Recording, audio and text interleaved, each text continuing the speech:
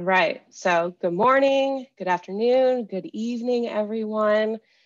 Welcome to the third installment of Dreaming of a New Collections Management System, and thank you for joining our discussion today. My name is Alex, Cra Alex Kron, and on behalf, behalf of Balboa Park Online Collaborative, BPOC, I'm moderating today's webinar. I am BPOC's Digital Projects and Collections Specialist, for those of you just joining this webinar series, our previous sessions discussed challenges around managing collections data and collections management systems from the perspective of consultants in the field and cultural institution staff.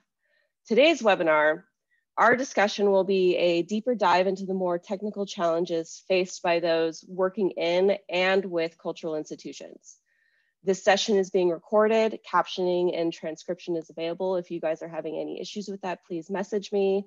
Um, the session will be, rec the recording session will be available on our social media channels and shared across listservs. Uh, so before we get started, I would like to introduce our panelists. So today we have with us Jack Ludden, BPOC's Senior Strategist and Innovation, Special, or Innovation Specialist.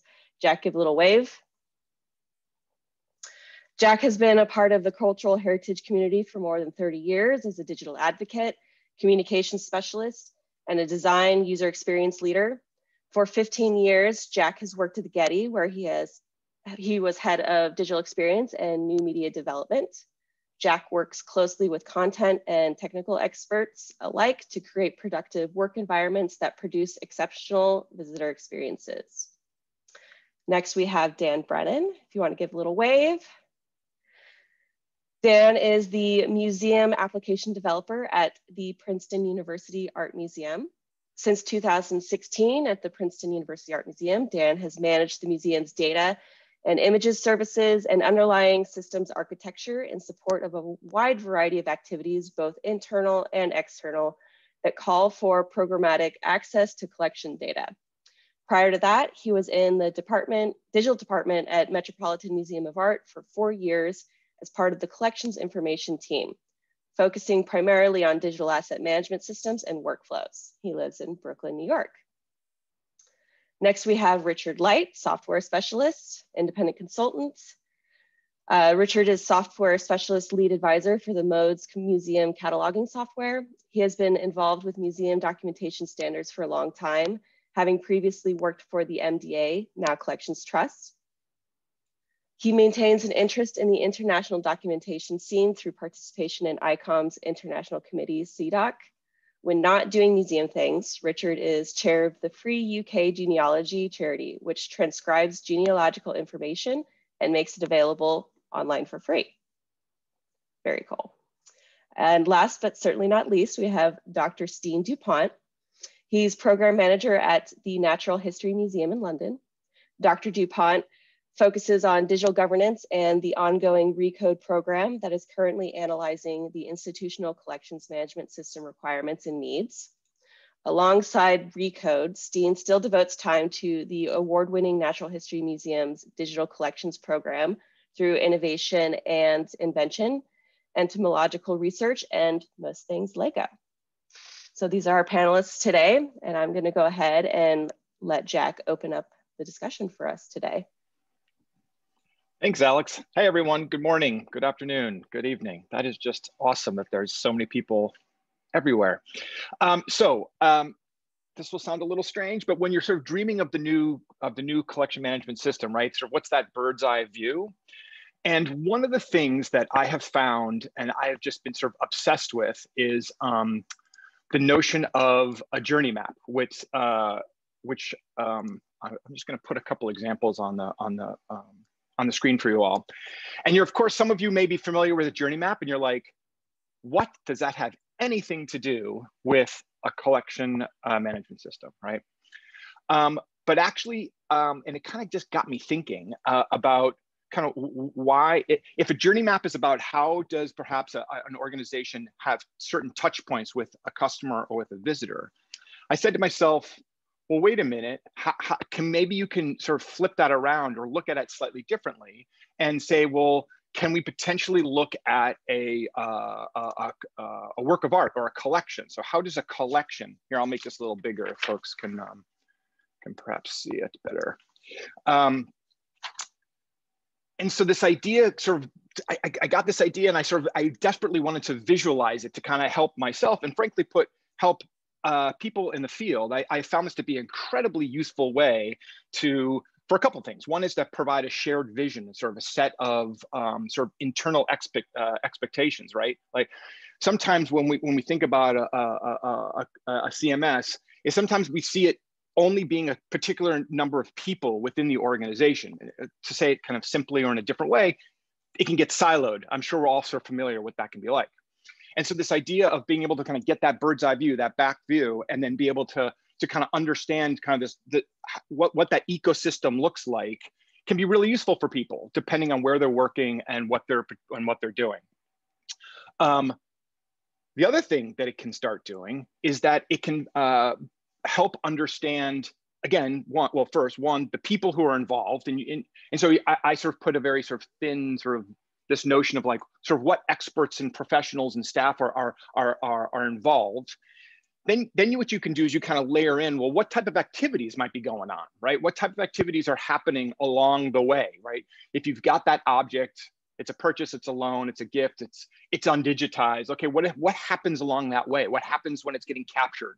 What happens when it's initially documented and then of course you can see the preservation or publishing and of course use right? So ultimately like once these really important things happen sort of internally we, we want to kind of release it to the world. And how is it being used? And all of these have particular people right? Experts and all of them have certain activities. And then now and, and i think this is kind of getting to to to uh, a critical point for today's conversation is and then sort of what technologies and frankly put what type of challenges do you might find along the way and again this has been a re- I, I found these a journey map of this nature to be really useful to kind of unify a team maybe provide uh, an understanding to those who maybe don't understand the technologies as well. It's just been really useful, right? So this idea of like, again, you can kind of move left to right in, in this particular instance, this idea of like, okay, well, what's the metadata integrity? Or how do you perhaps do onboarding or training? How do you leverage automated workflows? Um, what does restricted or limited access look like? Um, where are you do where how where types of uh, derivative files might you have how do you uh, tackle uh, internal discoverability the, oh my goodness the most important thing you know this idea of apis and how do ultimately do you provide access um, outside the system um, customized workflows. Uh, one of the things that I'm sort of constantly obsessed with is this idea of like the interpretive material. Like, how do you connect that interpretive material, and what type of technologies and systems and processes do you need there? Backing up, the all important notion of governance, right? Uh, and then of course the notion of upgrading configurations. I'm just highlighting a few things here, but I think you see the point where again you sort of have this again this this journey of this object where all of us in the museum community are somehow involved with that journey, right? And I've just found this to be a really effective way uh, to identify and share, and then ultimately, which is you know the the, the goal perhaps is to certainly for many of us on this call is essentially prioritizing the work and sort of tackling uh, the things that we might need to get done. So I just wanted to kind of frame it and kind of uh, sort of put that out there as a as a as a um, as a, as a way of kind of again sort of a bird's eye view of kind of how you can sort of tackle and kind of look at some of these things and and start addressing some of the the challenges and opportunities that are out there. Uh, okay enough for me. I am now going to i can't point over but i'm pointing over to dan. So dan over to you and i'm going to make sure i mute myself because the last thing you need to hear me do is cough. Okay uh, just real quick before you get going, Dan, I did forget to mention that we will have a Q&A at the end after everyone, after everyone has a chance to talk. Um, I just noticed the question in the chat, so I just wanted to make sure that everyone knew that. All right, Dan, hit it. Thanks, Alex, uh, and thanks, Jack. Um, and thanks to the awesome folks at BPOC for doing this whole series. I've been a spectator on the first two, and they've been just like super cool and super informative and thought provoking. Um, so I appreciate the, the opportunity to be in this third forum. Um, and this is cool because, you know, content management systems, particularly with the technical challenges around them, are not a thing that we talk about a whole lot in constructive ways, I would say. We we get together, we gripe about them, you know, we grumble, but we don't sort of imagine what if they didn't exist? What would it look like? Um, and so, yeah, I mean, I think about content management systems kind of in the same way I think about the subway in certain ways, where um, a collection management system is getting me from point A to point B, but I'm never really excited about using it. Um, it's just a thing that exists that's functional for me. Um, and so when I was putting together my thoughts for this conversation, it was like, what would it take to get me really excited about, about a collection management system and the ways that I work with it? Um, so I'll try, I'll try to enumerate that the best that I can. Um, as, as Alex mentioned, I am an application developer at Princeton, um, which mainly means that most of my work day to day exists on the periphery of the collection management system. I'm not a person who spends a lot of time directly inside of it.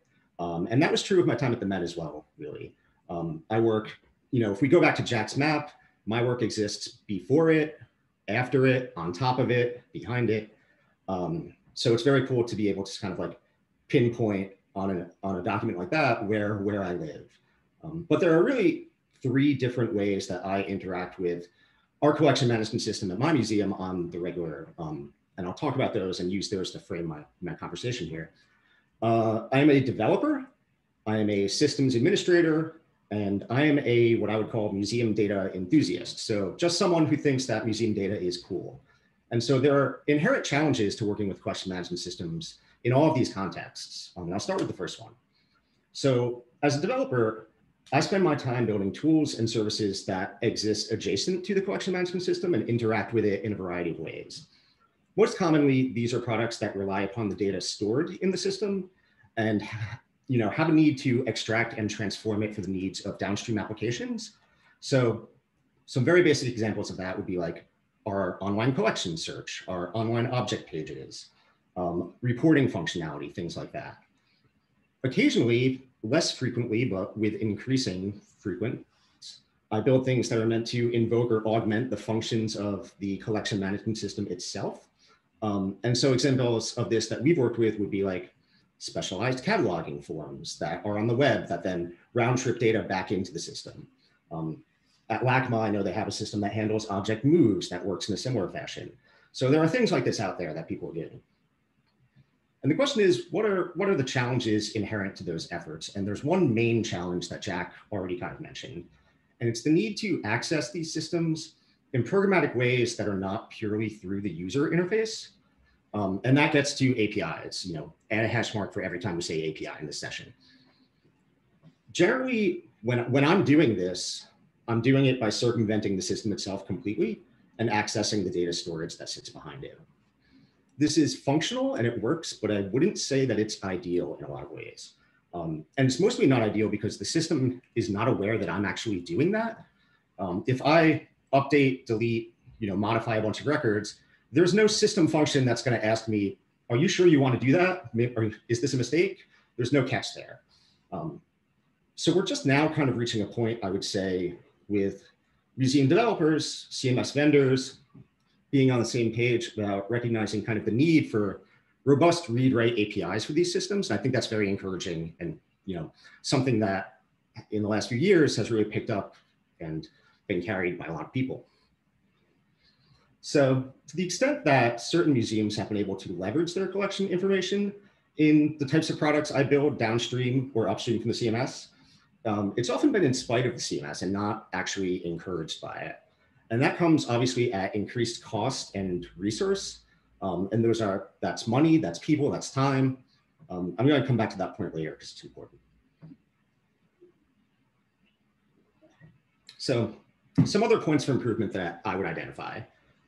Um, the first of these has to do with kind of, again, driven by the API question, integrations.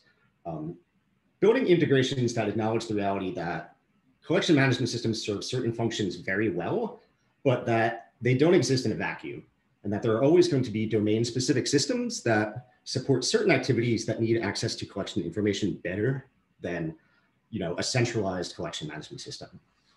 This kind of one system to rule them all uh, notion, I think, undercuts the effectiveness of these systems and ignores the fact that, excuse me one second, I'm very dry right now.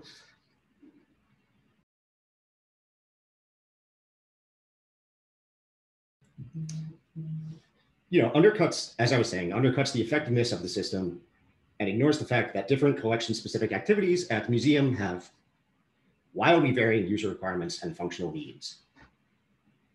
Um, furthermore, about documentation, we as managers of these systems should be able to articulate clearly what the foundational concepts of the systems are and how they relate to each other. This would better allow users to determine where the CMS should fit inside of an overall systems architecture and create a community of open exchange around use cases and examples. Um, do you mind, Alex, if I pause right there for a second? I'm getting a phone call that's somewhat very important. yeah, no, go for it. Richard, why don't you carry on for us?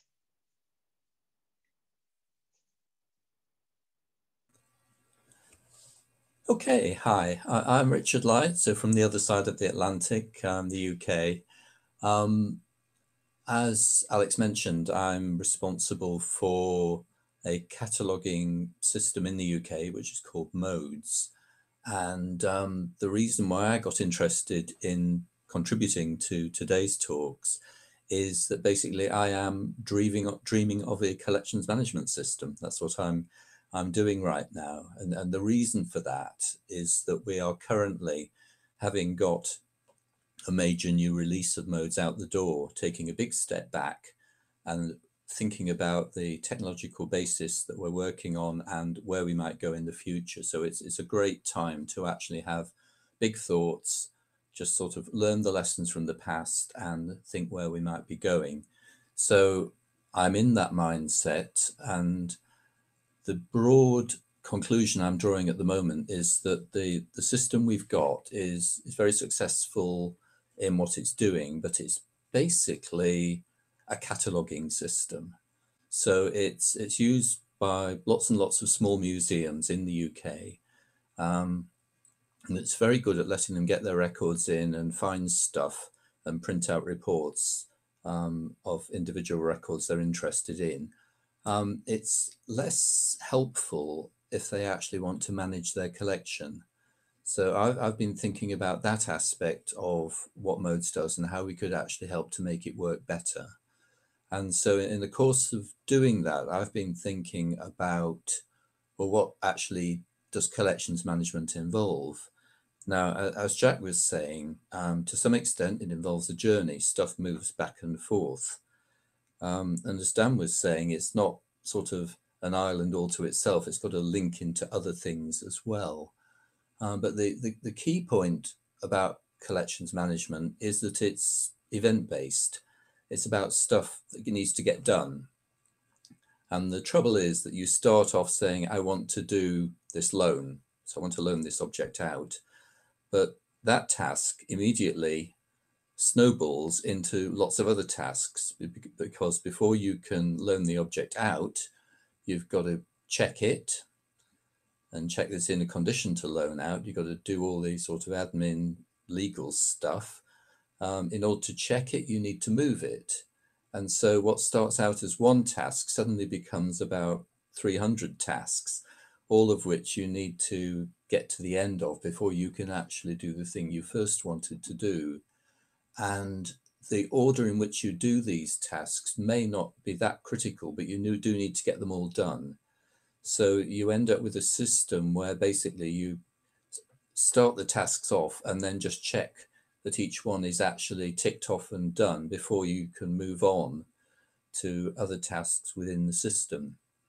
And so my mental vision of a really good collections management system is one that helps you do this and lets you spawn new tasks and keeps track of deadlines, keeps track of who's meant to be doing certain jobs and whether they've actually got that on their to-do list.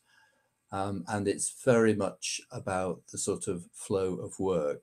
Now, as I say, our, our experience is that we, we built a system for the museums. They're very happy with it, but the management side could be done a lot better. And I'd be interested to hear what other people's experience is in, in that sort of area. Um, another sort of learning point that I can bring to this is I've been involved with museum data for more years than I care to remember. and there's a whole question about the nature of museum data. Um, it's not like all other data it tends to be very variable. Potentially, it can be very complex. Um, there's an awful lot of uncertainty that you're wanting to record in there.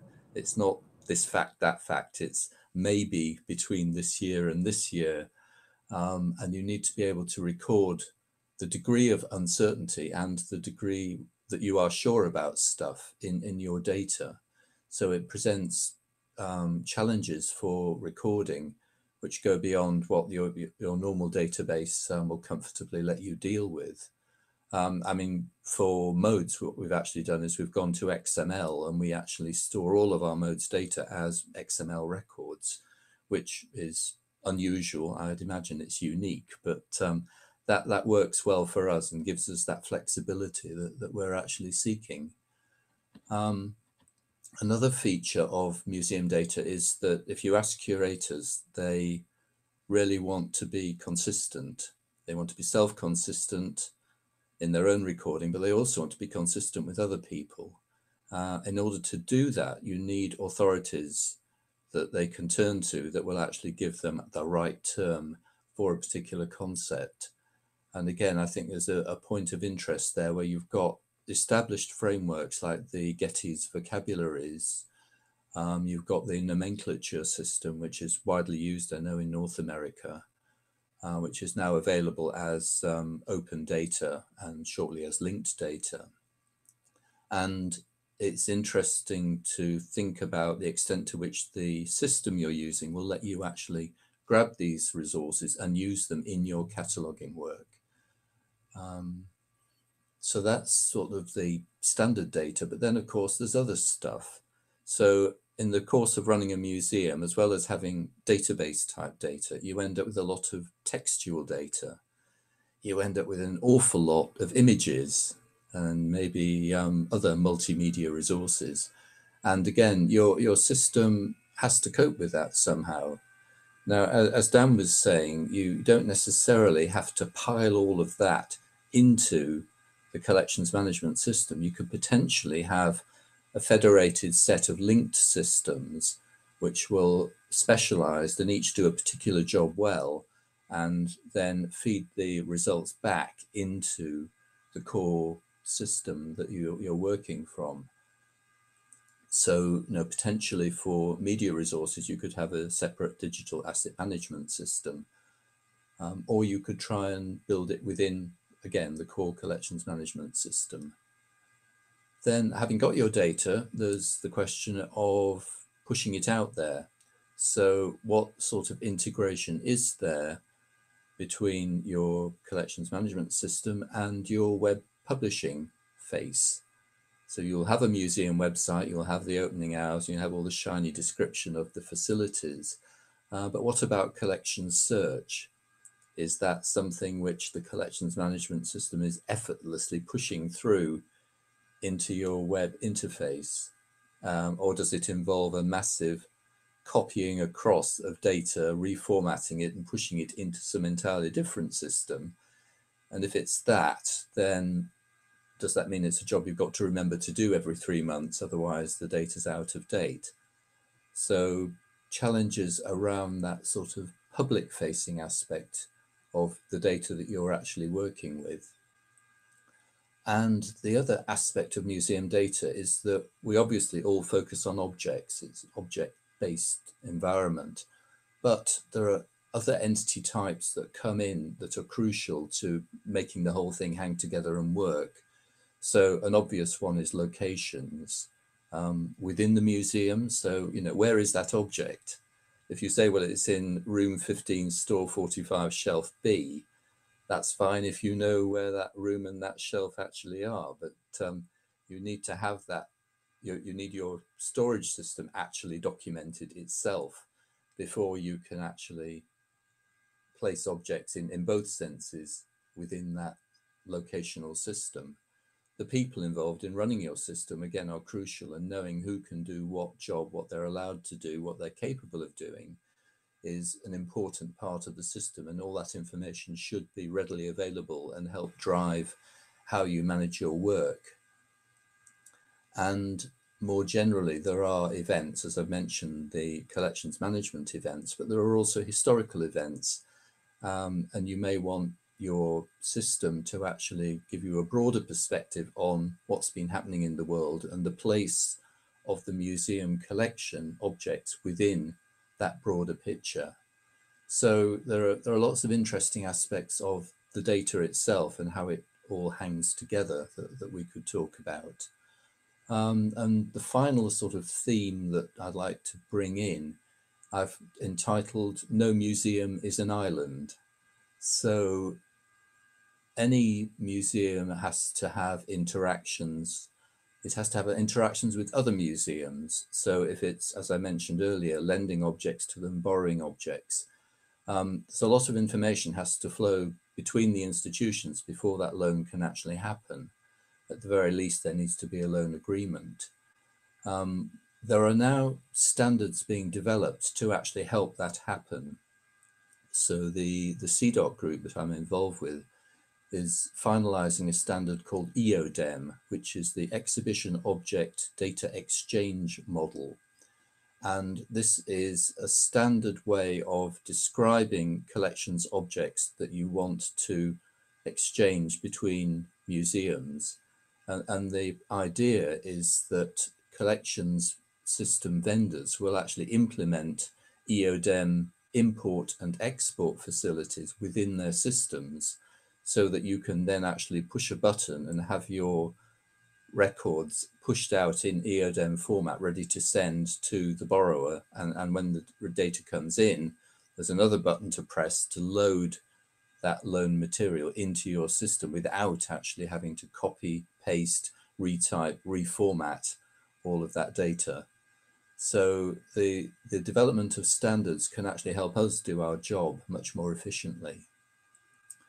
Then there are interactions with the other professionals involved in this area. So conservation studios, transport firms, insurers, again, they all need information from you about the material that you're asking them to work with. And again, there needs to be a means of getting that information out as efficiently as possible and, and um, so as to move the, the whole process forward. Then there's your public. So we, have talked about collection search already, but there's this whole social media thing. Um, so the public out there have opinions and they're not slow to express them. To what extent are you engaging with those opinions and to what extent is your collections management system plugged into those dialogues? Is there a means of getting opinions and indeed expert knowledge out of the public through social media and into your collections management system because a lot of people out there know a lot of stuff about the specialist material you've got. So there's an opportunity there but you you know you need to be able to take advantage of it. Um, uh, crowdsourcing as, as, a mechanism is now an increasingly popular way of taking a neglected primary source and, and getting it digitized. And again, if you can integrate that to your systems, you can harness the enthusiasm of hundreds of volunteers to actually get new machine processable data into your system. Then there's other museums as a sort of broader picture. Um, a lot of projects in the past, such as in on our side of the Atlantic, the Europeana project, um, aim to pull together data from lots of museums and present a big online resource that's searchable. Um, are you in a position to contribute to that sort of collaborative exercise? Um, do you provide a, an individual search mechanism that could be integrated into a distributed search?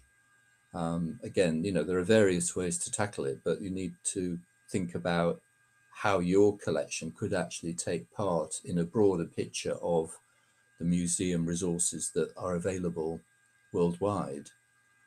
And towards that goal, there is the whole idea of identifying each of the objects in your collection in a unique persistent way. And if your collections management system provides you with a means to provide a unique persistent URL for every object in your collection, and if that URL is actionable so that as you click on that link, you actually get the data back, then you've effectively bookmarked your collection for the internet. And that means that other people can start to talk about your objects. They can use your URLs to refer to that object, and you can start to build up a corpus of knowledge about what's been done to your collection by other people and what they've found out. And that I think adds enormously to the potential um, that your collections management system can contribute, not just to your own knowledge, but to everyone else's as well. That's me. Okay. That was great. Thank you, Richard. All right, uh, Dan, let's circle back to you and then we'll, we'll um, go on to Steen. Thanks for skipping around and accommodating. Nothing no, like, no problem. Nothing like a morning emergency to crop up life, times. life, life happens. Like, like everyone, yes, life is happening extra these days. so I think I think I left off talking about um, I'd wrapped up the context of being a developer who works with these systems, and I was getting into the system administrator side of things. And so as a system administrator, I consider it my role to make sure that the system is configured in the most effective way to serve the greatest number of users as possible and to provide a stable, consistent user experience and to support the growing set of business processes at my museum that both require access to and generate collection information. And so that said, the main thing that is a challenge with these systems that I've worked with that I would like to see is I would like them to move in a direction that's much more user focused. Um, and some of that is UX and some of that is other things. Um, in the last session, Jeff Stewart talked a lot about this, about the people who use these systems and how they have different user requirements across the museum. And I think that's really important to keep in mind. But just, you know, some things I'll throw out that I would like to see are generous interfaces, um, a UX that's intuitive and that serves people across the institution. Things like integrated search and discovery, which uh, Richard actually mentioned a couple times. It's kind of funny when I think about collection information at my museum and how to understand the collection. Um, the notion of sending someone to the collection management system to understand the collection, that might be like the last place I would send them. Um, I would probably send them to the online collection. I would send them to talk to people. But the reason I wouldn't send them to the CMS is because the CMS comes at you with the assumption that you know a lot about the collection already. Um, and that's increasingly not the case as we move into stakeholders that you know, maybe need just like a small slice of collection information, but are not experts. Um, they do not know our processes, they do not know our history. And so, yeah, without the CMS serving those purposes, there's a spillover effect into other systems. So things like online collections and DAM systems, you know, I search for it in the DAMs because the search is better there, that kind of thing. Another, another thing I'd like to see is portability across operating system and device for these systems, you know, web-based everything. Um, how many people on this call who manage their work with these systems immediately found a user base who was working remotely a couple months ago? And how many challenges did that present for you? Um, certainly did for us. And then finally, in terms of application design for these systems, um, I'd like to see some design that abstracts the data model away from the underlying storage mechanism and the data repository itself. So we're talking about things like, um, I don't know, MVC architecture, for example, so that, you know, as a system administrator, you could select backend storage or configure it in a way that fits into your tech stack without necessarily having to affect the front end of your application. Um, and in the end, you know, this creates opportunities to develop and customize interfaces way more rapidly um, without having to necessarily modify your underlying storage. Um, I'll say that content management systems are doing this like very well right now. Um, and we have some examples that we use. And finally, the last context I'll talk about is as a museum data enthusiast. Um, so one thing I would like to see is CMS systems recognize that museum data exists in the world outside of the system. Um, as Richard talked about a lot, there's many opportunities for museums to exchange data um, and aggregate data and work with data in different ways. So what I'm not implying here is that these systems should enforce a common schema because that's a whole hornet's nest that we need to tackle. But what they should enable is the ability to integrate widely used ontologies and taxonomies, especially as we moved into like the world of linked data. These kind of shared identifiers are everything, um, and they're going to become increasingly important. Um, I'd also like to see, you know, in support of that, these kind of ready-made import-export functions. Um, I've worked on a few different projects that aggregate collection data. Um, the American Art Collaborative being one, um, the Linked Art Project being another. Um, and for a lot of museums, the barrier to participating in these projects is just getting data out of their systems at all in a way that can be worked with. Um, a lot of time and energy is spent doing that still. A third thing I'll mention is I'd like to see some system integrated analytic and insight tools. Um, and again, like for heavy lifting, you'll probably want to go to a specialized tool for that. But a little business intelligence goes a long way in terms of kind of impressing upon your users um, the types of insights that are available for your collection holistically um, and raising questions that museums should be asking themselves these days. And finally, um, again, I'm borrowing again from Jeff Stewart here, make surprises possible in the CMS. You know, we shouldn't conceive of a CMS as simply a funnel into which we are pouring data and then pulling it back out for different purposes. Um, it should act something more like a prism through which interesting things are being reflected back at us, sometimes unexpectedly. So to, to wrap up, you know, I'll throw out this question of like, why do I care about these things? Um, why, why do I want to see CMS systems improve in these ways other than selfishly, like I want my job to be a little easier? Um, and there are, there are two things that I'll mention that are important to me. And the first of these has to do with the digital divide. I've been lucky to work at institutions like Princeton and the Met, which have the resources to support positions like mine um, and can build these bespoke web applications and processes to work with their data outside of the CMS. That's not true for most institutions. And so we end up with this notion of the digital haves and the have nots that then leads to a second, you know, very, very important issue, which is that the story of museum collections as it exists today is the story of museum collections as it exists on the web, more or less. And so if that space is dominated by the types of institutions building the types of things that I build, then all of the biases of those institutions is perpetuated in ways that becomes normalized and becomes the totality of what we know about museum collections. Um, so those are two things I want to keep in mind that I think additional work on CMS systems could really um, provide some benefit if we if we thought about it. Thanks. Absolutely. Thank you, Dan. All right, that brings us now to Dr. Dupont. Fantastic. And I probably don't have anything to say. I think most of it has been said. but um, no, this this is absolutely great being here. I, I, I was I've been here on the other webinars as well, and I think one of the take-home messages from some of the earlier webinars was there was a need, there was this need for change or this need for an update in the system. We need a new system, but how do we prove that we need it? Where are the resources? How do we show the impact of the collections um, and the use of the collections within our institution? And we are so the, the, the, museum in London is, is very fortunate that we have we are now on a journey to look at what we need, how we need it, and what can that provide. So we're in this, we are in this exact stage of dreaming of a new new CMS. And all these things that, that Richard and Dan have mentioned about APIs and, and integration with, with the community, interoperability with the community, those become apparent, right? Um, one of the things that I think hasn't been touched upon um, if I am to pick one or two things out, is, is metrics, its impact. It is, it is showing that curators and researchers using the collection and how that filters out to the world. But it's also internally. So, so basically in my notes, um, where I've ticked off uh, a couple of things, is this, what, what we have now is a hot topic between the internal use and the external use of the CMS system.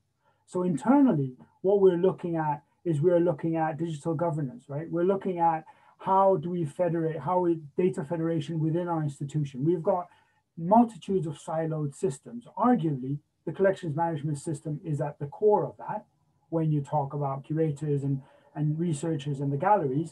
But we've got libraries as well. We've got the registry office. We've got um, research labs creating images. How do you start connecting that, that information? We've also got registries of all our of all our researchers and how what they're generating uh, of research. And if you can think of that new system, if you can envision those connections, and you can start saying, well, I want to be able to pull in those um, journals or those publications by these researchers, and I want to be able to link them with the persistent identifiers to the specimens they've been working on. And I want that surfaced, right? Or I want the decision-making boards to be able to see which parts of the collection are being worked on. And this is not this is not about uh, keeping tabs on people. This is about understanding the impact of our collection and of, of our, our specimens or our artifacts to be able to track that. And that follows through to the external environment as well. Because what we're doing now is, is we're doing web scraping to an extent that's that's unfeasible. We send out little little bots that walk around and try to search for NHM and a unique identifier and try to link that back to our, our data portal, but it never goes back into our collections management system because that link has never existed. Our, our system is a silo uh, in, in, in essence. So we've lost that traceability back to our specimens, um, which, which is very important for that. For example, for, for, the, for the metrics or for the impact analysis, or basically for understanding what specimens are being used for. Um, and then there's another, there's another fantastic thing when you look at the external potential of linking up systems and linking up collections, which is around data validation. It's about work efficiency and lightening the load on, on some of the not mundane tasks, extremely important tasks, but given the volume of specimens we have, it's unfeasible for curators to be able to do that um, for, let's say, 25 million insect pin specimens at the Natural History Museum. They cannot validate each and every one of those. But if that data can be surfaced appropriately, following standards or a number of standards that APIs can pick up, um, or that you can have platforms where people can annotate and provide their own sources of truth for that matter, um, then you start being able to incorporate that as long as you have the transparency for people to use those interpretations and continue the work on that collection where in in the old days or before a time of the new fantastic CMS, a curator would have to pick up those specimens, ship them off, uh, hand them over, or invite a researcher over, and they might come over and discover that the specimens are half ruined, or the legs they actually need, or or the painting that they, they want is, is actually not there or is, is misplaced. So you provide this visibility and this access for use um, but in many in many cases, those links um, are somewhat some broken because we don't have the tools. We don't have the APIs, the standards, the schemas available. And that's one of the things that I believe we have the opportunity to do is to look at some of those, uh, a multitude of standards, a multitude of um, things happening within the community to understand how the times are changing and how we need to adapt or preempt those technologies so that when those are being used, we can surface our data and we can use that and we can bring that back into our system. Now, this brings a multitude of, of different problems uh, with it. Um, not only the amount of data that might come back when you surface millions of specimens or millions of objects to the world, you get twofold, threefold information back potentially. Um, but it opens the doors for, for some things that are really, really interesting. Um, and I think I'm I'm actually sort of if I start thinking about other challenges, because I've ticked all the all the links about um, uh, interoperability and, and API, which Richard and Dan have touched upon. I think data transparency is another thing that we can talk about, or data data access we've already touched upon. But data transparency, understanding what has happened to a piece of data and how that has been changed, and being able to use that or comment on it in different circumstances. We all understand that the data that institutions hold is being used in a multitude of different ways uh, for a multitude of different reasons. And some things may be relevant, some things might not be relevant. And being able to nitpick at that and, and use that, but then reporting that back transparently so the next person can go, oh, this specimen has been used by so and so and so. They've done that. They actually recommend that this painting is from a different era, or this specimen was collected by a different person because the collector on the label obviously wasn't alive during that time. Um, so it must have been a different person. And then you can start correcting that you can start enhancing that data uh, either automatically or through the curators. Um, so I think what I want to do is just backtrack a bit to the to the governance because what we had so some of the discussions we had in the earlier uh, earlier webinars uh, and I was I was foolish enough that my first webinar I posted a long list of things I wanted to talk about data annotation round tripping um, I want to talk about APIs I want to talk about um, how do we share data free and openly? Um, and and thank you for acknowledging that list Alex. Um, and we did talk talk about some of the points. Um, but what, what we discussed further in those webinars was how do I prove to my institution that this is relevant, right? How do I, as a curator, as a, well, mostly curators, how do I say to the institution, we need to do this because this is really important? A lot of the times the CMS is the core of an institution, but it's not the moneymaker. It's, it's just the core. That is the data. That is what we have and decisions aren't always made, made based on that. But if you create that transparency and that impact, and you allow um, senior decision makers to see that and have visibility of that, that filters through, and people will see and be able to make decisions and say, actually, we need a developer because we can see that a, a data portal or surfacing data is allowing three times more uh, researchers to, to visit us because they now understand what we have. Um, so we, we want to do that, or we want the ability to put in uh, conditions reporting into our system because that's really, really important to understand so that we're not wasting a lot of time walking around the collection trying to check each specimen. We've got a log of which things need attention or don't need attention. Um, so I think it's really, really important to create that, that visibility within the institution around the systems that we have to inform of, of us the decisions to reach that goal of a future shiny new uh, CMS.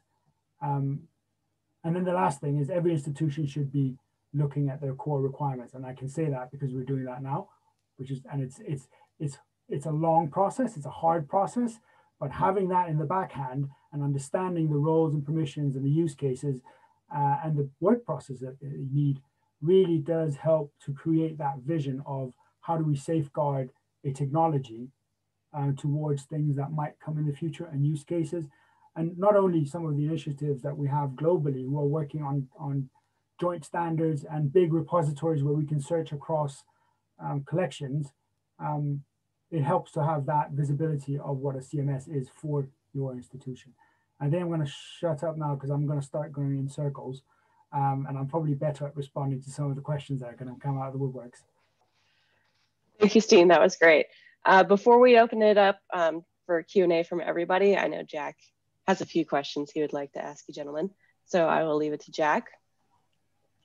Thanks, Alex. I, just a few out there, guys. I just want to throw a few things out there while people are sort of putting their ideas together. Um, so Dan, one of the things I just wanted to ask you was this notion of, you mentioned APIs and clearly that that's they've changed over the years right and i'm just curious like kind of what you've what you've seen kind of what, where where it's been where it's going and, and how you see that's transformed over the past and by the way Steen and richard too please feel free to sort of chime in as well but uh, dan you just brought it up and i just to get your sort of take as to kind of where you see that stuff going and how many of us on this call might sort of look, look at uh, apis in the future yeah, that's that's a good question, Jack, um, because there are a couple ways to come at it. I think there's there's the notion of an API that's tied to the functionality of the system itself, and those are the kinds of APIs that I am really interested in seeing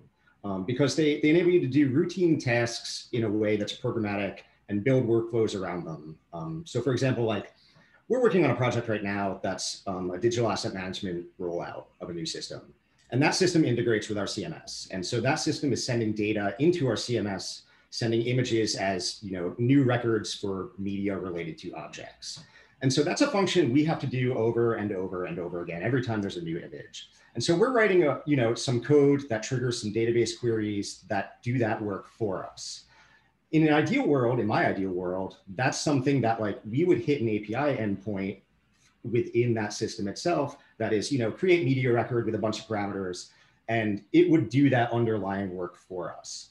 And that way, if the data schema ever changes, we don't have to rewrite our code. We just have to write our code to the API and we can trust that it's going to work. So, so that's, that's like the kind of real world example that I'm thinking about. And then there's obviously the notion of APIs coming out of these systems that are purely data APIs that really are just read only, get me the data out of the system in a certain format. If I ask you a question a certain way, you will always give me an answer in the same way. And those are the ones that I think have great utility for getting to the last point in my in my corner of this talk of leveling the playing field for people who are trying to build things with their collection data and get it out of the system in different ways and transform it. Cool, thanks. That's that's super helpful to hear. Great. Um, so Richard, this is a fairly obtuse, large, obtuse question, but I have to ask you. so um, a lot of, a lot of what we're all tackling is sort of this notion of prioritization. When you start thinking about sort of the technologies and and and sort of thinking about what do you have to do first and what do you need to do second, as it were. Like, do you have any advice or sort of insights as to how you tackle those types of prioritizations around technologies and those types of challenges? Is there something out there that you is there is there is there a, a secret method for you that you're now going to provide to all of us as to how you sort of tackle it? I think there's a secret method, but I suspect no one else would actually adopt it. Um, we we have been very lucky in that I, I, started work with a body called the MDA, Museum Documentation Association, which was developing standards, which in fact came from a group of curators, and we were developing a multidisciplinary data standard for museum data. And this is back in the 70s. Um, and um, you know that standard had a natural hierarchical nature to it. So you asked curators to analyze stuff, and they break it down. So you have you know an object, you break that down into how it was produced, you break how it was produced down into who produced it, when, and where. And, and naturally, you, you end up with this hierarchy of information. So we had these this mental picture of hierarchical standards, and as we moved from record cards that would actually let you record a structured record through to software that would support those standards, we look towards hierarchical data structures. Um, in the early days, we had to invent hierarchical data structures because there weren't any databases that did that. Um, but by the mid 90s, um, frameworks like SGML existed, and then XML came along. So basically, the idea we'd always had for data suddenly had an international standard that actually gave us that. So we've basically moved quietly and step by step from a, a completely homegrown renegade sort of approach to our data through through to it being um, quite respectable in that it's a standards based system, but it's also being XML so much a one-off that I, I, I, would be surprised if any other anyone else would actually look to build a, a, a, collections management system based on that. I mean, I would say that obviously the standard relational model um, works on the principle of normalization and that obviously is not what you get with an XML document. So an XML document is like a big blob. It's a lot of stuff all together. But for a lot of museum purposes, that sort of blobbing actually works quite well because you know you have these entities that you're interested in and you you know that there's an object you're interested in. If you can just go and grab all the information about that object as one thing. That's actually quite efficient. So i've actually worked with entity relational systems where everything is analyzed to the nth degree and what, what I found was if I wanted to actually pull back everything you know about an object, it would take minutes because it was resolving all of these links where all the places the data are being scattered to had to all be unresolved to pull it back together. So in terms of practicability, um, our, our ad hoc model actually works pretty well for the sort of data that, that we're working with. Um, and I'd say the other direction of travel, which really interests me going on from there, is this whole idea, which I think Steen mentioned, which is of linked data. Um, the, the, the, idea that you actually take the resources you're interested in and give them an identity that transcends the immediate system they're in and can be instantly delivered out of that system to anywhere on the web and used for whatever purpose you want because what you're getting out is machine processable data in effect it's it's an api to a web scale database you know so it's a really powerful concept but obviously it's only powerful if the data's in there. And the challenge i see us having is to actually get that or convert our systems from being data strings to being linked data resources. And it's you know it's an, a non-trivial ask but i think it's it's a worthwhile direction to move in. Thanks richard. Yeah that's um oh dan did you have a question? To, to tack on to what richard yeah. richard's earlier point something that i think about constantly at this point in time is basically like our, our relational database is the best type of database for a collection management system? And you know given the structure of museum data and the needs around like data models for museum data increasingly like I, I lean towards maybe they're not maybe maybe like document based storage which is you know quite practical at this point um, might serve certain functions of a cms better you know I think I think I can touch. I think Dan's Dan's got a point there. We we are looking at that as well because we are the difference between uh, a document with metadata and an object with metadata and and trying to fit some of that functionality or adapt a system um, for a different purpose is something we're looking at. And, and I think that could could be or is promising. Um, and that's not only because there are bigger sectors within within those those platforms, um, but they've been doing some things for a lot of years with a lot of audits as well and a lot of integrity and a lot of they already have a lot of of, of some of the functionality that we actually wish to have uh, AI, ML, uh, and a lot of those things. And APIs already there. I mean, a lot of them are are integrated services or, or minor services that are integrated by APIs already. So a lot of that functionality is embedded in those platforms. So I think there is great potential within within that. Mm. Yes, I mean, I, have found in the past that the uniqueness of museum data often means that you're actually fighting the relational model because the relational model actually merges things which are seen as the same in a database, you often end up actually having to put in unique identifiers to force them apart again um, because they look the same, but to you, you know they're not because they're actually about two different objects. So, you know, you, you might actually find the relational model is, you know, to some extent the enemy in, in certain contexts. And I think that a, a mixed approach, um, different technologies brought together can actually be helpful to us in, in trying to tackle this project. I don't think there's any one technology that's going to give us all the functionality that we need. I think we need to get them to work in harness. So, you know, if you're looking seriously towards the linked data direction, I think that, you know, you should move to a triple store and work within an environment that is actually designed for that job and not try and make your collections management data system into a triple store. Um, so you, you you know have the best tool for the best for the job that that's at hand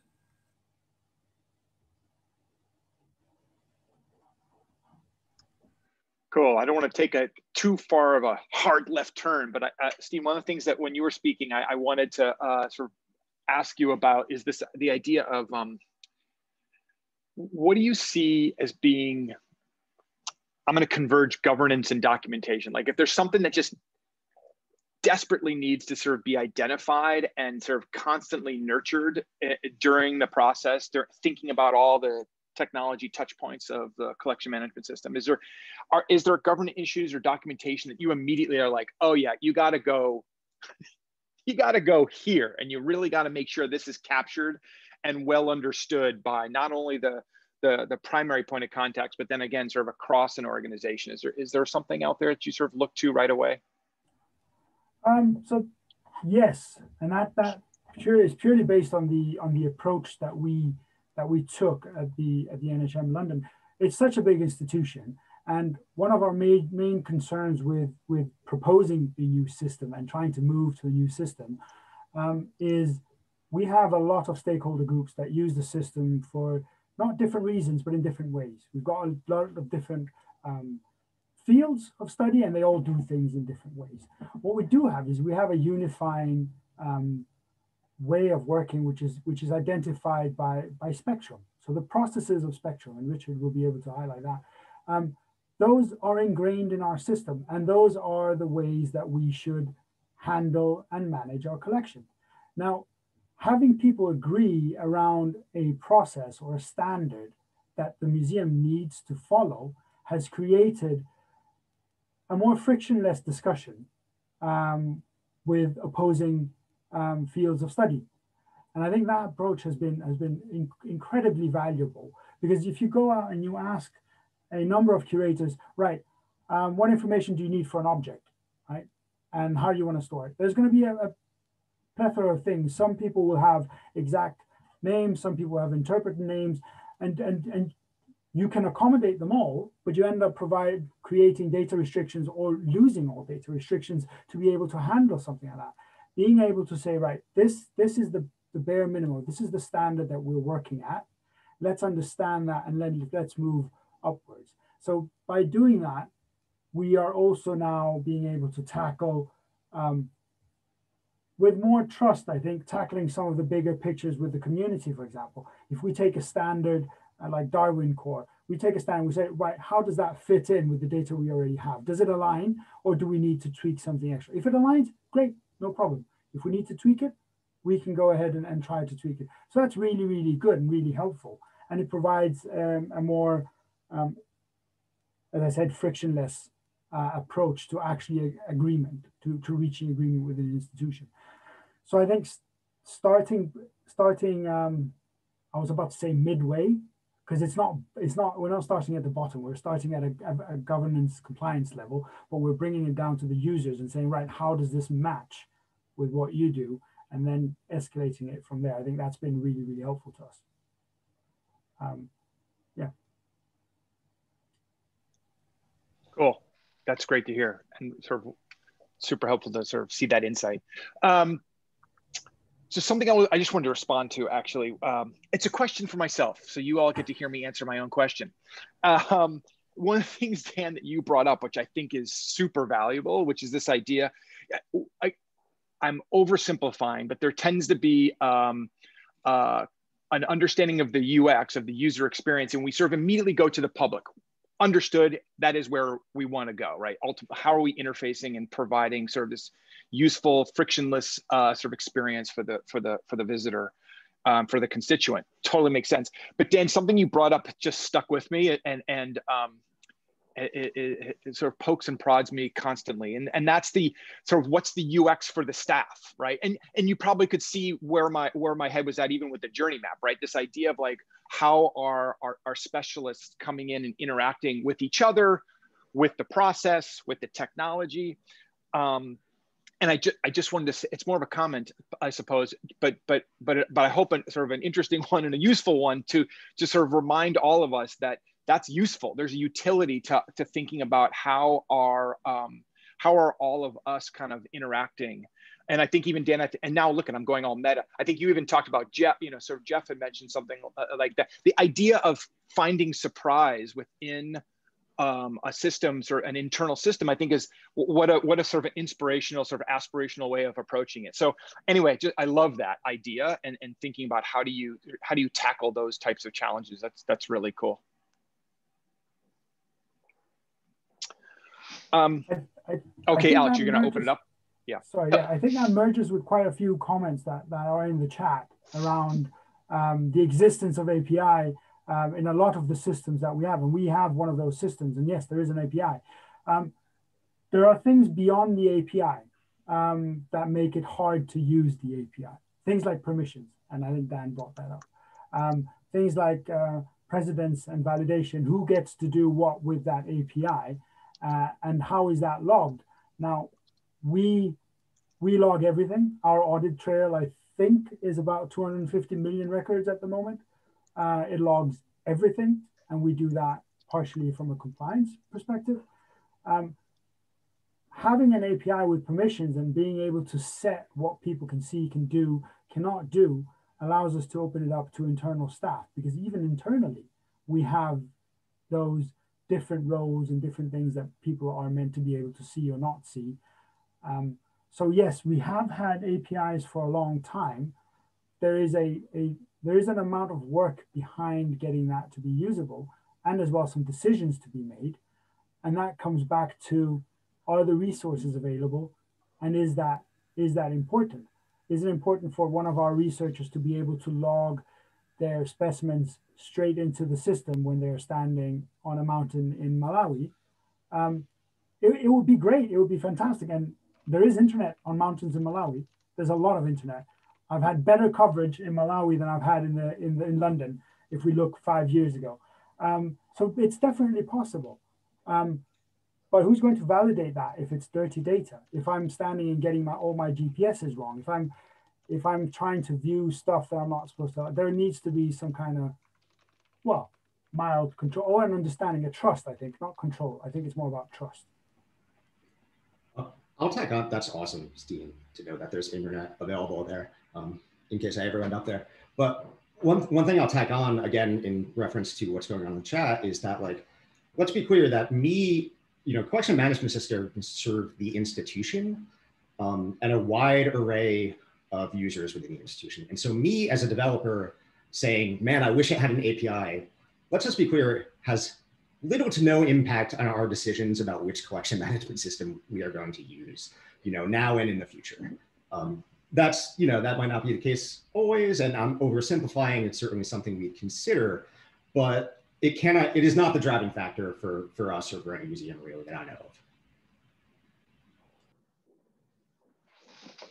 Great. All right. Um, well, thank you, Jack, for starting off with our questions. We'll move, and I know Steen kind of started and Dan started tackling some of the API questions already. Uh, Jack, there is a question in regards to the image you showed at the beginning, if it's available online. Um, if you're able to share that, please do so. Um, Sounds like a plan. I will, yep. Okay. I just wanted to go through the chat real quick and just make sure we didn't miss any other questions.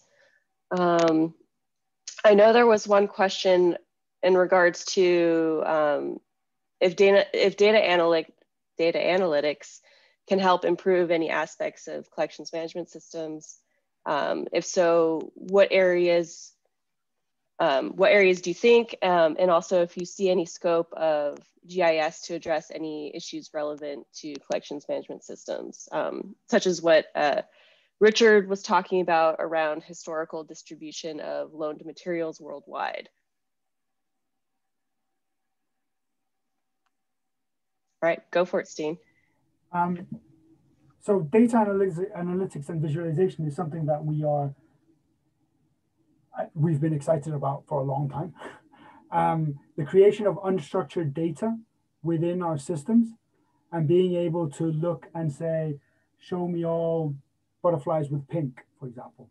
Having, having a, a images analyzed for that kind of unstructured data can be quite valuable to your searches or and this is probably mainly for well no no it's not. I was about to say it's probably mainly for researchers but even if you're looking at conservation or or, or status reports right and you understand that something will turn a specific color if it's getting old or damaged or you are searching for specific things that can be incredibly valuable.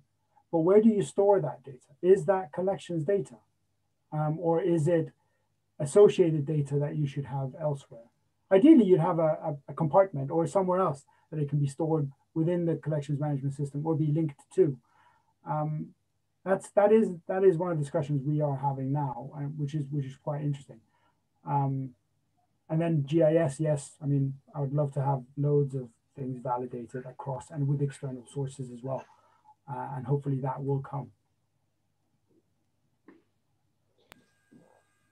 Right. Maybe GIS as such, but it's worth saying if you actually have access to um, sort of geographical linked data resource, I mean, even something like GeoNames, um, if you actually can include the URLs from that framework in your data, you basically get geolocation for free because the lat long of each place is part of the data associated with that URL.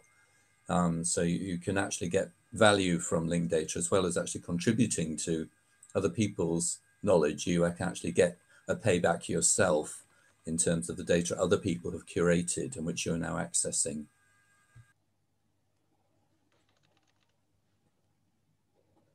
All right. Um, I am not seeing any more questions in the chat. Um, I don't know if there's any questions that you have for each other at this time.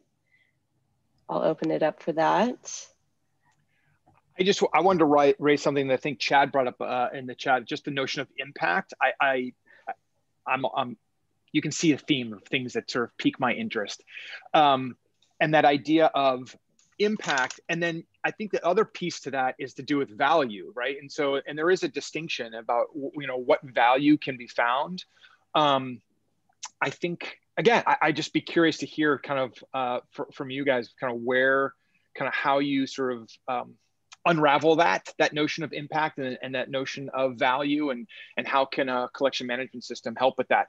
Right on, on, a very sort of tactical level and a very transactional level there are ways to provide um, connections using technologies like apis to to revenue right? To, to how you might connect it to a, a store or a shop right? That's more of a of a, of a value option or or, or, or, or as you might see it or again more transactional. Um, and then something I sort of brought up way in the beginning, this idea of how do you connect interpretive materials to a collection, I might argue that that's more sort of experiential, uh, um, but certainly has impact. So anyway, I, ju I just wanted to kind of bring that to attention again, because I think that there are some, um, I'll call them complications, challenges, opportunities around that. And so I wanted to sort of raise that. I'll, I'll, I'll jump in on that. Um, I think we all probably will. But you know, it's interesting that you bring up the notion of interpretive materials as a part of like a value algorithm or something like that, because we we've recently been reconsidering like the notion of like exactly where does the collection management system end? Like just because something talks about the collection, does it belong in the collection management system, or is it better served in another system that can can meet the needs of that particular type of content or data better? And so, you know, interpretive material is one of these things. And it's certainly something that in when considering what is the value of our collection, we would want to incorporate, but so are things like Google Analytics, but so are things like how many times has this been on the wall? And so it's this kind of question of, again, like I keep circling back to the, con- the collection management system existing within a larger framework of systems that holistically give you a picture of like what is your collection all about? Um, and what can you do with it and what can you learn from it? Um, and then again, on top of that, you know, putting something on top of that that can effectively meaningfully tell you that information in a way that's clear without just spitting out a bunch of numbers, you know. All right. I think, sorry. Sorry, go ahead, Richard. I think that that brings us back to the point that was made earlier about data channels in and out uh, and the fact that many systems at the moment are actually rather bad at that very, very basic task. But basically, if you can have a, a data channel out, then you can have this sort of integration and feed it live data from the core system so that it's not just sitting there at one remove and instantly out of date as, as work progresses. Um, and, and again, if it can then have a channel back the other way, then you can have you know, the, the core updates that are required for the core system again happening automatically. And that, that approach of a multi-system um, design, I think, gives so much more possibility and, and, lowers the bar as well. I mean, I, I did a talk for the CIDOC conference, which I call the overloaded CMS. And I think that there is this danger that essentially you, as, as was just being said, you pile everything into the CMS because that is the place that the data is meant to live. And I think we need to actually break with that way of thinking and go to a more modular mindset. So I, I wanted to touch just because I, I, I, can see there's more questions coming in the chat, touch on the, the impact value and probably give two examples of, of some of the things we're doing. Um, we have, so our external view of our content, content in our CMS is through a data portal that is provided with data from our CMS about four times a week, right? And it presents that data to the world, and you can you can look at that. Um, through so the digital collections program took on digitizing the collections at, a, at, a, at an impressive scale and rate, but was needed to look at the impact of what it was digitizing, right? So are the specimens being used? Is the data being used that we are providing? Um, so we did start looking at cite um, how many things, sorry, things that are cited uh, in journals.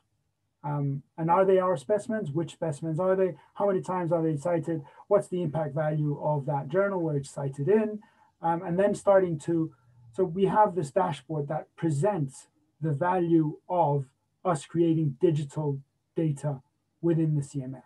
And it is quite valuable and it functions as a reporting tool of that program.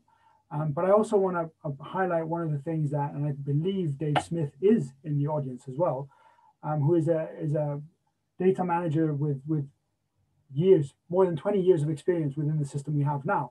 And he's creating Power BI dashboards of our current data and how that's evolving. Where are the gaps? And as soon as you start seeing the gaps, you start being able to say, right, where what are we going to prioritize here? Is it worth us prioritizing um, these 10,000 um, records with missing data um, or is that not important right now? Should we be focusing on, on this comma that's been misplaced and is actually duplicating data across 100,000 specimens? Or maybe we should remove that comma. That might be an unfair um, um, comparison. I'll let Dave chime in on that. Um, but it allows us, it allows us to make those decisions when we can see that data and it can be interrogated in that way. And I think it's massively important uh, to create that link, that visual link, or just to be honest, that those numbers so that you can interrogate at a higher level and not just look at individual specimens. All right, so we, we do have a couple questions in the chat. Um, first from Neal Stimler, a fellow BPOCer. Uh, what do you think um, attendees from the webinar today can start doing to make forward progress on technical work um, in collections management systems? Where to start?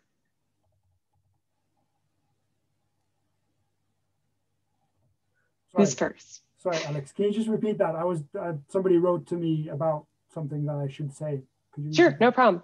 Uh, what can attendees of the webinar start doing today to make forward progress on technical work in collections management systems? Uh, where to start?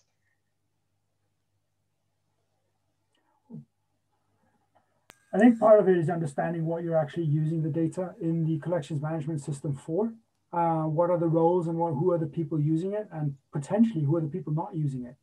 Um, who are the people making the decisions that actually have no connection to your CMS and that critical core foundation of your institution or your museum? There are people making decisions that just don't look at it, and they should. Um, they should see it. They should understand what the impact is, and they should be making decisions based on that. So that might be one one thing that you could start or one could start looking at um, filtering through. Yeah, I'll, I'll, second that, Steen. That one of one of the things that I think everyone would benefit from would be to sit down and seriously think about like what functions are is my CMS serving and serving well, and which of these are like absolutely mission critical that they can never be extracted from the CMS um, and which of these are things that we're doing the CMS through because historically that's where we've done them, or we just don't have another place to do them. Um, I think, you know, kind of a self-evaluation of that sort would be the best place to start. Um, and then again, you know, on a, on a bigger picture, just to sort of think expansively around, you know, the limitations of what a CMS could be. Um, don't don't base your your concept of a CMS on simply what's in front of you.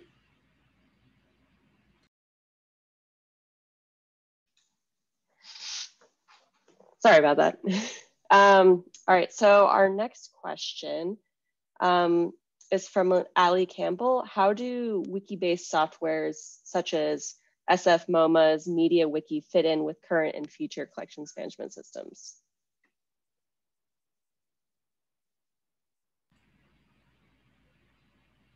I know enough about that to be to be dangerous. a lot about it. Um, basically just um, I think I read a, a couple blog posts and maybe saw a presentation, but if I if I'm understanding that project correctly, it's around providing rich context around collection information, almost touching on what we were talking about before around like interpretive materials and things like that. And I think those kinds of systems, whether those are considered to be part of the CMS or ancillary to a CMS or just something else entirely, are going to become increasingly important to museums who have large collections and rich, deep information around them, being able to provide a single source of access for that kind of thing, regardless of where it's stored.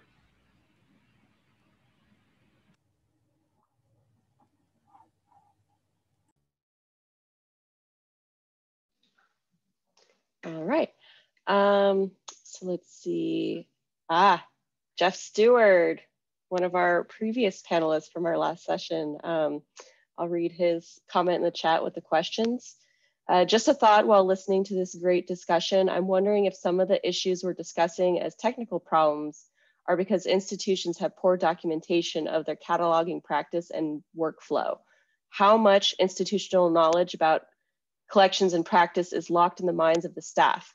I keep getting stuck thinking that we're trying to use technology to solve problems that first must be solved by changing the cultural, the culture of museums. Absolutely. Just drop the mic. There you go. Yes. Just boom. there it is. We're, peace out. yeah. We're not we're not going to dispute that. Um,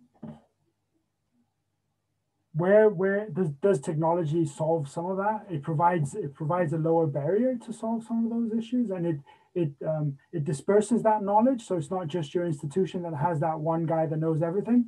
There might be somebody else out there that can look at that uh, information and provide that information as well on a specimen or, or an object.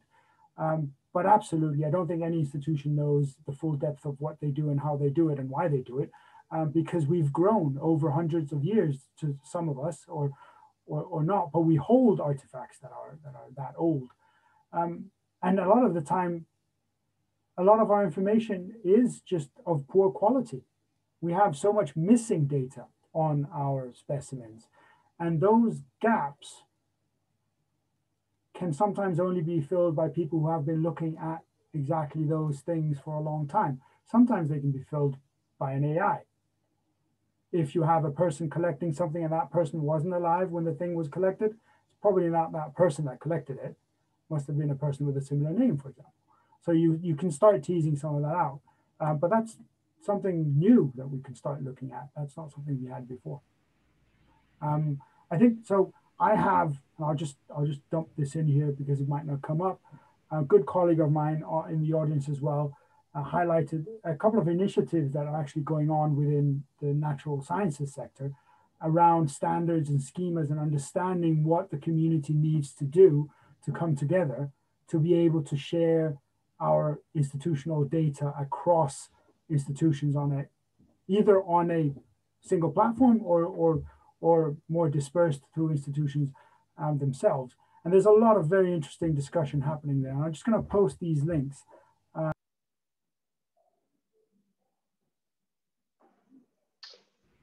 All right. Oh, to, go for it, Dan. I just had one thought about Jeff's question, which is not an answer to Jeff's question other than just yes, Jeff. but it's it's a related thing that I think about, which is how much of Jeff's question about museum culture and workflows is actually at this point in time driven by the CMS itself. Like how much of our cataloging practice is geared around the boxes that are put on a screen in front of us and on how many of our workflows are determined by like the, the workflow built into that system. Um, it's this kind of, you know, circular thing that I, it's just a thing I think about a lot. Yeah, well, that, that's sort of where where I came in with my whole sort of introduction to this topic because um, in a way what we're trying to do with the mode system is actually put some of those boxes in front of our users in a way that they haven't had in the past.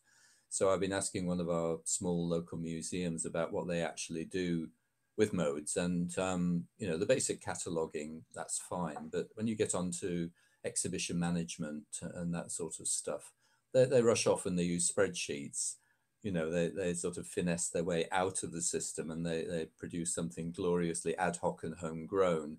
And and that is the challenge that I think the developers of systems have that if they can actually provide a tool that's easy enough to use and is so directly what the person actually wants to do that they switch through and use the tool because it's actually less work than inventing their own homegrown system, then I think you might start to align the practice of the museum with at least what the designers of the collections management system at least had in mind, even if that's not exactly what the museum management themselves might want. But then that's about how you align the system with your operational practice, which is another challenge. And you know, to what extent that can actually be customized to the needs of each museum.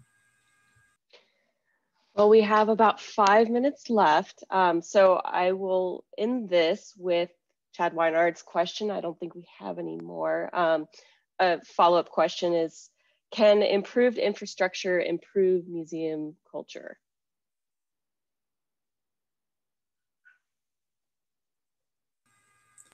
Well, I'm an optimist. I would say yes. I would say that um, there's a lot of scope for doing things better, getting the data more consistent, um, getting the data so it falls under your feet as you're doing the job and is available when you need it.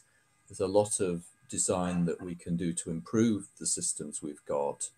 Um, and I think a lot of that has to come from the users feeding in. Um, we certainly find it's a massive challenge getting any of our 650 museums using modes to actually say what they want, to actually you know put those requirements there in front of us. And to some extent, we're having to do a, a design job in the dark. You know, well, surely this will be good for them if we do this, and and that's not ideal. Where we're working to improve that dialogue right now, but um, there is there's always that challenge. But I think unless the users stand up and shout, um, then you're going to find the vendors are quite slow to actually move things in a, in a way that is going to help them. Absolutely. I, I think so. Sorry. Um, um, I'm, I'm not going to say whether improved infrastructure can improve the museum culture, but for us, the journey towards an improved infrastructure has had huge impact. So we have and I'm, I'm saying this because I really hope it's true re related to the program that I'm doing, but the workshops that we're running with a number of different curators in their own fields and uh, exhibition staff and the conservationists, when, they when they're sitting there and talking about the processes they're doing and how they're working with the collection and understanding and discussing that between themselves, has had a huge impact, I think, on the understanding of what the institution does and how it does it, and has allowed them to understand each other. And then, possibly more anecdotally, we have had um, we've had we have curators and researchers who do more very similar things. Curators do research too, and I know that's more general in the U.S. It isn't so much in our institution. But understanding one of the reasons why our researchers actually weren't engaging with our CMS was very interesting because part of it was they didn't feel safe. They wanted to engage with the CMS and they wanted to put data into the CMS, but they, they acknowledged that in some cases they weren't the experts and they hadn't been trained that well. And the thought of them being able to change a thousand records by putting in something wrong actually kept some of them away. Now, this is not speaking for all the researchers, but that was very interesting. And trying, so what we're trying trying to lower that barrier or provide a safe space, right, that you can work in and you know that you're not going to change that. And then once you're comfortable with that, yeah, we can port that data in uh, to the rest of the CMS, for example. So I think understanding the journey to the infrastructure can definitely improve, uh, but that's understanding the museum will improve museum culture. So I'm probably skipping a, a step there. All right. Well, thank you everyone for joining us today for this amazing discussion. Thank you, Richard, Dan, Steen, Jack, for your time today. It has been a real treat. I have been enjoying this webinar series and helping to moderate it so much. Um, with that said, we are at time. So everyone, this session's recording will be available on all of our social media channels. I will be sharing it back out on our list, on the listservs that we promoted the webinar series on. So please keep an eye out on that. Um, if you are interested in participating in any future panels, um, please feel free to reach out to me. Um, and I'm more than happy to discuss that with you. All right. I hope everyone enjoys the rest of their day and we will see you next time. Okay, cheers. Thank you. Thanks all.